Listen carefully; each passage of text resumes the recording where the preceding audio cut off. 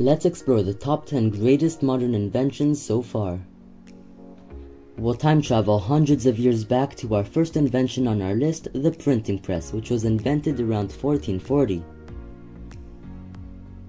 Johannes Gutenberg, a German goldsmith, is credited for the invention of the printing press.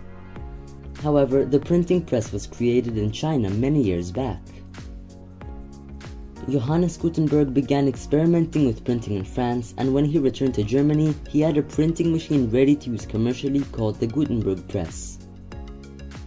Next on our list are optical lenses, the microscope and telescope. In 1590, Dutch spectacle makers Hans and Zacharias Janssen and Hans Lippershey invented the microscope.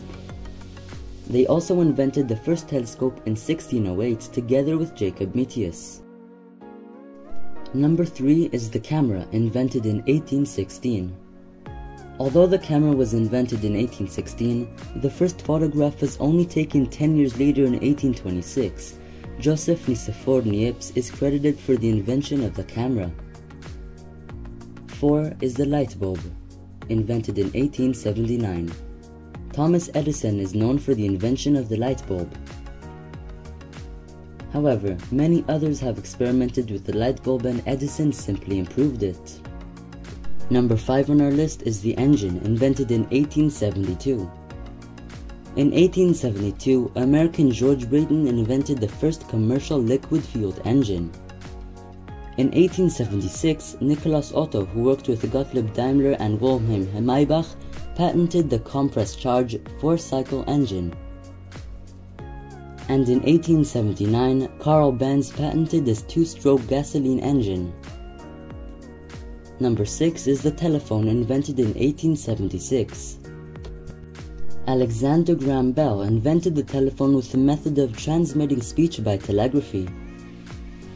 Since then, telephones have improved very much and are still being improved.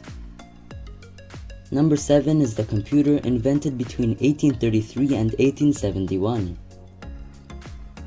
Between 1833 and 1871, Charles Babbage developed a mechanical computer that could do simple calculations. He worked on it for almost 40 years. Number 8 is the car, invented in 1886.